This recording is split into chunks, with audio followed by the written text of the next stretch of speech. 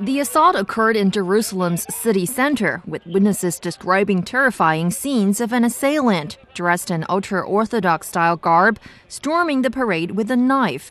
People were screaming. He just ran through the crowd. It was this, it was a, a, a, big crowd of people. He ran through the crowd with a butcher's knife and stabbed whoever he could.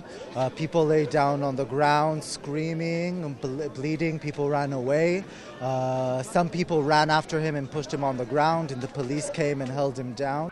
Police identified the suspect as Yishai Schlissel. He was released from jail three weeks ago after having served the sentence for stabbing several people at a gay pride parade in Jerusalem in 2005. Medical sources say six young people were wounded in the attack, two of them seriously. Jerusalem's 14th Pride Parade was supposed to be a day of celebration, sending a message of love and tolerance to the city. About 5,000 people attended the event. However, because many in this volatile city are ultra religious, the parade draws much controversy and tensions.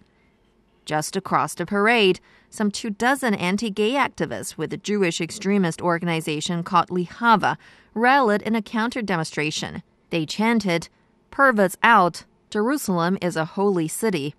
Um, I'm not here to tell people what to do in their own homes.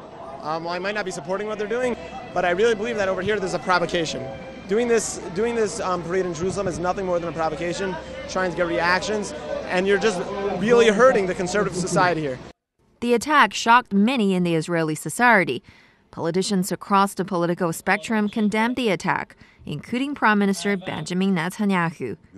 He said in a statement that in Israel, everyone, including the gay community, has the right to live in peace, and they will defend the right. In 2009, a shooting attack in a gay center in Tel Aviv resulted in the death of two youth. The perpetrator was never caught.